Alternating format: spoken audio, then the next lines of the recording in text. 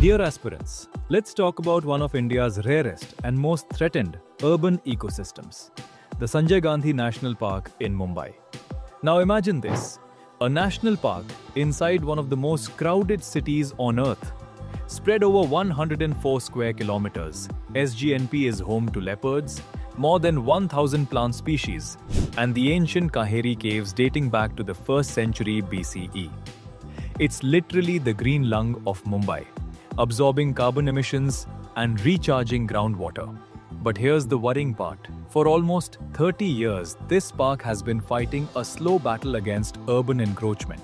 Despite multiple court orders since the 1990s, only 49 kilometers of its 154 kilometer boundary wall has been completed. The rest still open to illegal settlements and construction.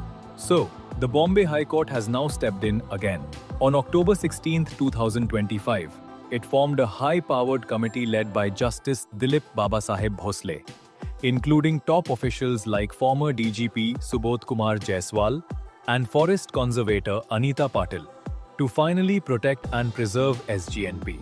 Their mission? Complete the boundary wall, remove illegal structures, rehabilitate encroachers humanely, and ensure long-term compliance. Globally, very few cities, like Nairobi or Rio de Janeiro, have wildlife-rich forests inside their urban boundaries. SGNP is Mumbai's version of that miracle.